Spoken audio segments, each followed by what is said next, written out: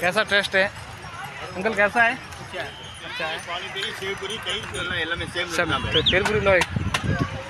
नाश्ता करने के लिए बैठे हमारा अंकल और निक्सा, ये अभी अंकल खाएँगे छुंडल हम दोनों खाएँगे भेलपुरी आ चुके हैं भेलपुरी खाने के लिए और चने महीने बीच पर है हम लोग और नाश्ता करने वाले हैं।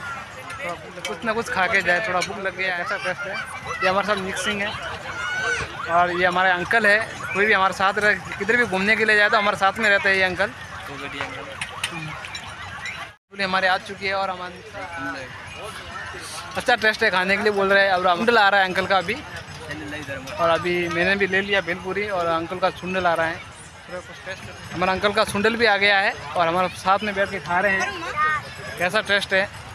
अंकल कैसा है। अच्छा है। तो हम भी स्टार्ट कर लेते हैं।